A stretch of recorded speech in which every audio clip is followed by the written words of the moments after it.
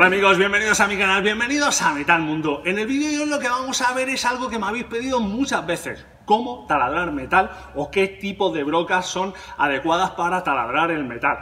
Bueno, los amigos de Fisher nos mandan este estuche de brocas con aleación de cobalto. Bueno, vamos a ir viendo un poco de qué se trata, qué particularidad tiene, cómo debemos taladrar el metal y vamos a utilizar pletinas de acero calibrado. Vamos a ver latón, acero inoxidable, acero al carbono. Ve del principio desde el principio hasta el final que seguro que te va a gustar. ¡Empezamos! Venga, vamos a ver esos primeros pasos. He cogido pletinas gorditas para que veáis que no hay problema a la hora de taladrar.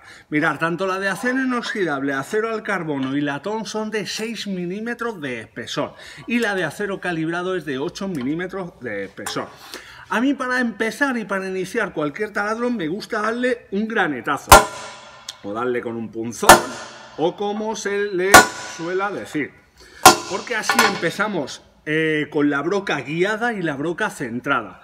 Vámonos a empezar con el acero al carbono. Factores a tener en cuenta y ya arrancamos. Mirad, por ejemplo, yo voy a empezar haciendo un agujero de 7 milímetros, pero para empezar no voy directamente con una broca, vamos a llamarle gordita. Voy a empezar con una broca de 5 milímetros. Entonces hago un iniciado, una broca de 4 milímetros.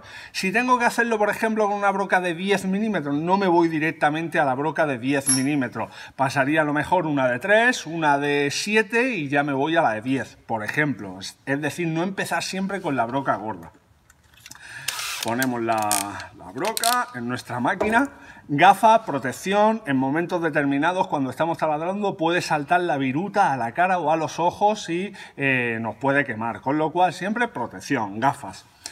Lubricante. Nuestra broca siempre debe de estar protegida o refrigerada. Es decir, podemos utilizar lubricante, eh, aceite de corte, eh, taladrinas, etcétera, pero proteger y refrigerar nuestra broca. Perfecto. Venga, vamos a empezar. Le damos poquita velocidad y vamos haciendo fuerza en la parte trasera.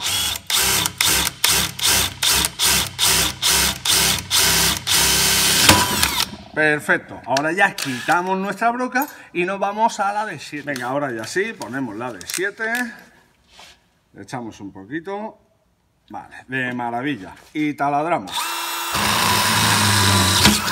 Agujero hecho. Vámonos ahora al acero inoxidable. Venga, de igual forma, acero inoxidable, ponemos nuestra broca de guía, un poquito de aceite de corte. Una cosa que os quería explicar, cuando vemos en nuestras brocas o caja de brocas, etcétera, las siglas HSS, en este caso barra CO, HSS es algo así como Higher Speed Steel. Eso sería acero eh, de alta velocidad o acero rápido. Y en el caso de CO eh, sería acero rápido con eh, aleación de cobalto. No es que la broca en sí sea de cobalto, es que lleva una aleación de cobalto. Venga, vamos a ir haciendo el primer agujero. Iniciamos. Poquita velocidad, vamos haciendo fuerza.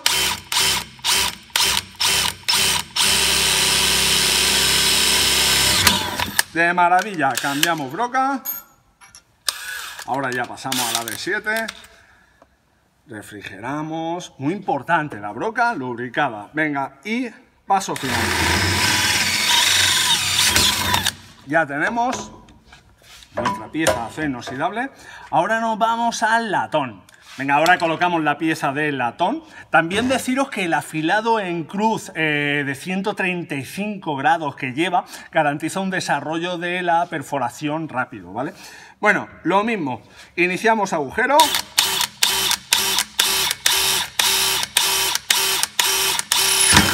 Perfecto. Y ahora ponemos siguiente broca, la de 7 y terminamos de hacerlo. Muy importante, refrigerar. Venga, vamos a ello. Qué rápido, qué maravilla.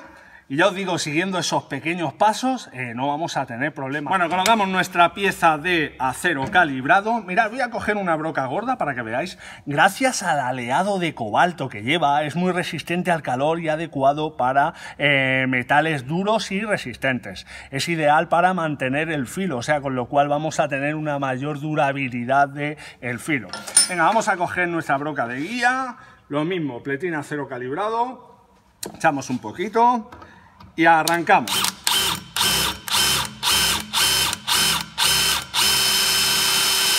Muy bien.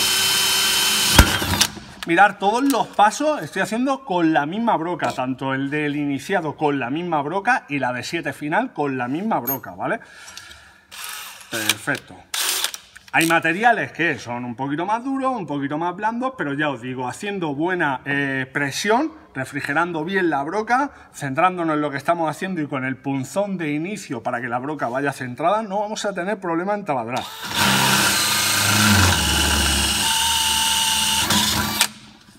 De maravilla otra perforación. Ya hemos perforado estos cuatro materiales sin problema. Lo que veíamos al principio, el HSS, el acero rápido, tiene buena resistencia a la temperatura y al desgaste. Además, esto es una broca resistente con protección anti-rotura. A mí me gusta mucho utilizar los estuches. Yo lo llevo en mi caja de herramientas o en el taller y me gusta mucho utilizar el estuche. Para mí me es muy cómodo. Pero se pueden comprar las brocas individuales. No hace falta ir a morir a un estuche si solo vamos a gastar un tipo de broca determinada.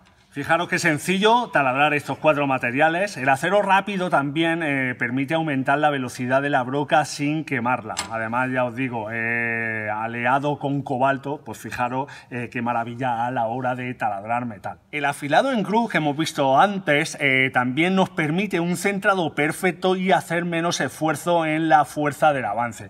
Pues todos estos detalles hay que tenerlos en cuenta a la hora de perforar metal. Nos ayudan muchísimo en nuestro trabajo. Metal Munderos y Metal Munderas, hasta aquí el vídeo de hoy. Espero os guste, sobre todo que os sirva de ayuda. Darle un abrazo enorme a los amigos de Fisher con estos productos, estas maravillas que nos hacen el trabajo mucho más fácil en nuestro día a día. Eh, bajo en la descripción del vídeo voy a dejar un enlace, ¿vale? Por si queréis conseguirla. Y nada, Cualquier duda, aclaración, bajo en la caja de comentarios del vídeo, lo vamos debatiendo. Y nada, si quieres compartirlo, desde aquí estamos enormemente agradecidos un abrazo enorme y hasta el próximo vídeo que seguro que te va a gustar. Bye bye.